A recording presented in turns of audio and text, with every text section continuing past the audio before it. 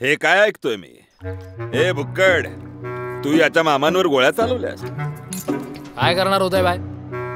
उगाच बेशुद्धीचं नाटक करतोय म्हातारा. म्हातारा म्हणतोय यांना बोलण्याची? पद्धत नाहीये. याच्या मामाला तू म्हातारा म्हणालास?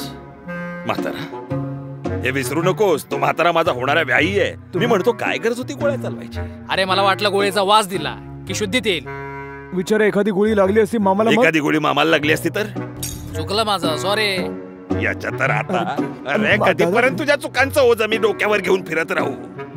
मी म्हणालो होतो जा गोळी मार. बोललो होतो नाही ना मग का गोळी मारलीस? हो आणि दादा ते मामाला उठवण्याविषयी जे बोलले होते आणि असे असे हे इशारे काय करत- इशारे करत होतास हा? काय अर्थ होतो याचा? कसं उचलणार होता त्याच्या मामाला? असं? हा? एवढ्या मुश्किलीने लग्न जुळून आलंय. एवढा चांगला सभ्य पोरगा सापडलाय. हे लग्न तोडायला तर मी आता पण तुम्हाला जो टेन्शन देईल ना त्याला मी नाही सोडणार उदय बाय अरे काय? काय करू याचं? काय करू? काय करू? काय करू? मारू सुद्धा शकत नाही ना.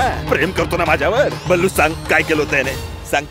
माझा एक पाय नकली आहे. मी हॉकीचा खूप मोठा खेळाडू होतो. एकदा चुकून बोलताना मी उदयभाईंचा अपमान केला. मजनूभाईने माझ्याच हॉकी स्टिकने माझ्या पायाचे तुकडे तुकडे करून टाकले. पण मनाचे खूप चांगले आहेत. मला बस लगेच बोलू. हॉस्पिटलमध्ये बस. घेऊन गेले. ऐकलंस?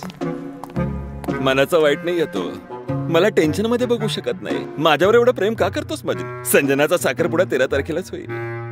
राजीव खूप समजूतदार मुलगा आहे. तो त्याच्या मामाला शुद्धीवर आणेल समजावेल साखरपुड्याला आणेल चिंता नको करूस हा? मग तुम्हीच घ्या विचारून त्याला. साखरपुड्यात मामाला हा आणणार का मी घेऊन येऊ? आता तुम्हीच आणा मजनूभाई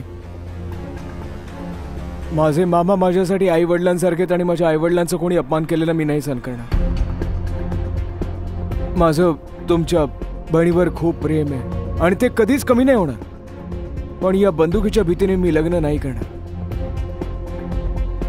एक मिनिट दादा. मी जातोय.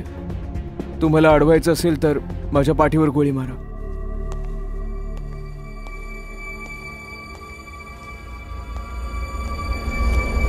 राजीव.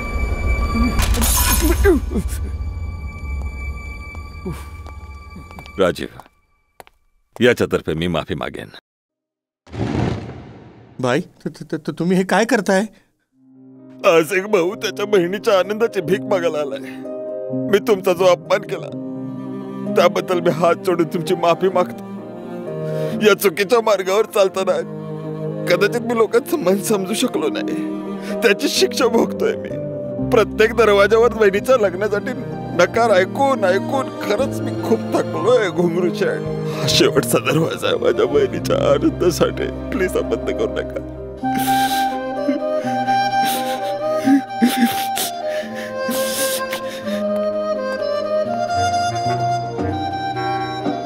प्लीज रे शिवाय. कसे अश्रू काढतात शिक. आता पुढचा ड्रामा सांभाळ.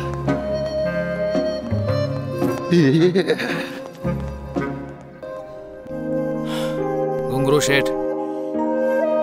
मी आजपर्यंत उदयभाईच्या डोळ्यात पाणी बघितलं नव्हतं. पण आज आज त्यांच्या डोळ्यांमध्ये पाणी बघून एका गोष्टीची गॅरंटी मी देतो.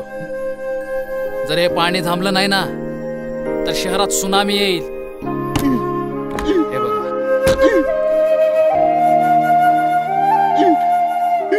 आता हा वेळा जगू शकणार नाही. Control control. जर हा वाचणार नाही तर कोण वाचणार? कोण वाचणार? बापरे. आता हे येणारं संकट फक्त तुम्हीच टाळू शकता. वेळेची फार वाट लागली आहे. आमचे भाई पण साखरपुड्यासाठी इटलीवरून उडालेत. आता हे कोणते नवीन भाई आहेत? आमच्या दोघांपेक्षाही मोठे भाई. इंग्लिशमध्ये म्हणाल तर godfather RDX sir R D X